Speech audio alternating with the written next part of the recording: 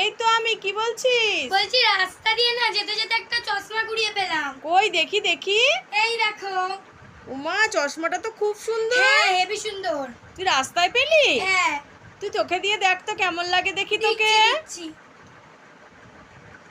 এই শোনো কোথায় গেলি তুই? এই তো মা। কই আমি তো দেখতে পাচ্ছি না তোকে। কেন? আমি তো তোমাকে দেখতে পাচ্ছি। তুই আমার সামনেই আছিস? হ্যাঁ। তাও তো আমি দেখতে পাচ্ছি না। ও তুই চশমাটা একবার খোল দেখি। দাঁড়াও মা খুলছি। এই তো মা খুললাম। এ মা এই তো দেখতে পাচ্ছি। হ্যাঁ আমি তো তোমাকে তখন দেখতে পাচ্ছিলাম। বাবা তাহলে চশমাটার মধ্যে মনে হয় জাদু আছে এটা জাদু চশমা। কি বলেছ?